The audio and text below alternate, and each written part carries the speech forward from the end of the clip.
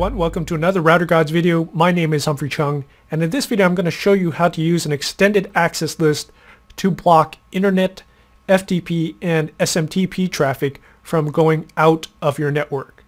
So we're using Practice Topology 5 with our three routers and we're going to modify this topology simply by clicking on router 3 and I'm going to drag it down here to the bottom left hand corner. And then I'm going to move around my labels for fast Ethernet 00 and 01. And I'm going to move this IP address for the link down here and also the loopback down here. So what this is simulating is that we have a company and R2 is the border router to the internet and you can think of our loopback interface right here of all twos as the internet line going out. R1 and R3 you could think of as PCs or they could even be switches connecting to a lot of PCs over here.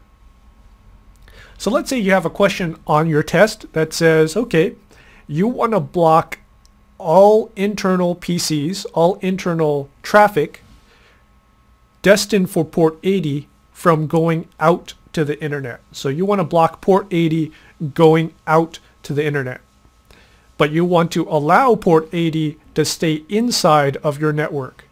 So let's say R3 was a web server, an internal web server. You want R1 and any other computer to hit R3 to get the internet or to get an internal web server. Well, this is kind of tricky, right?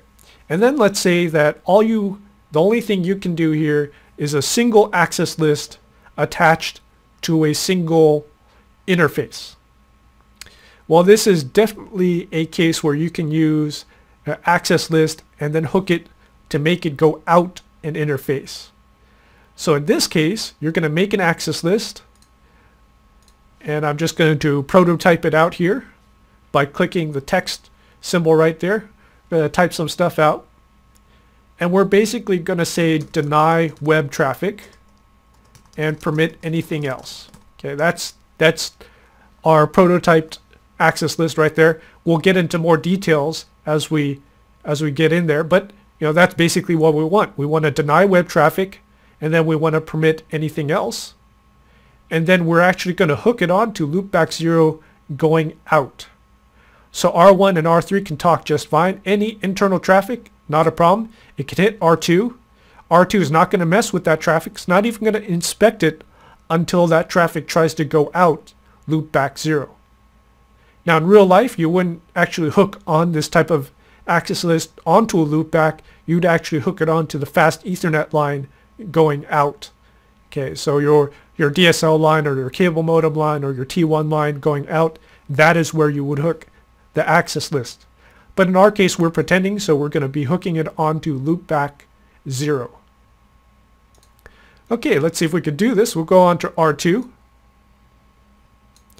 Go on to R2, we'll do conft access list. This is going to be an extended access list because we're going to be denying by port numbers. Access list 100, question mark, and we are denying.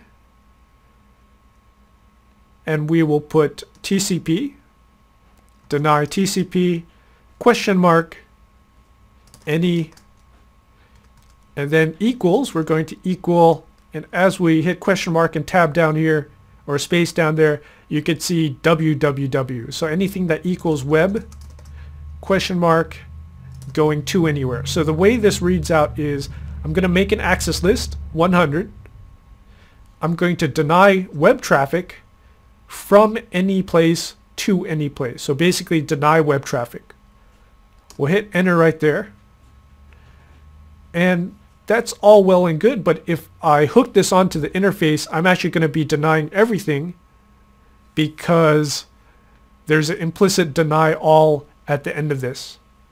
So what I want to do is I want to actually permit ping, so access list 100 permit ICMP any any. So that will permit my pings. And let's see what else we want let's say we want to do something where I want to permit uh, email, right? So I'm going to permit SMTP. So I'm going to permit TCP question mark any EQ for equal and you can see here we have SMTP. Now if you don't want to type in the actual protocol, you can type in the port number if you know it. So access list 100 permit TCP any equal SMTP. Whoops. And we have to follow that by any. We'll hit the up arrow and we'll allow pop. So we'll let people pop their mail. Whoops. EQ. Let's see if we have pop in there. Pop 3 actually. Any. And that should work. We'll exit out, do a show access list to take a look at our access list. Always a good idea to check things out. So sequence number 10, we're we are denying web traffic. Then we're permitting ICMP, which is our pings and our echoes and trace routes and all that good stuff. We are then permitting SMTP and we're permitting POP, so email should not be a problem. Unless they're using uh, Gmail. Gmail, since it's used over a web browser, is going to be port 80. All right, now we need to hook it onto the interface. We're going to go conft interface loopback 0 and then it's going to be IP access group 100 out. IP access group 100 out. And there you go. That is how you configure an access list to block web traffic but let everything else through going out to the internet. So all we had to do is make the access list four-line access list in our case.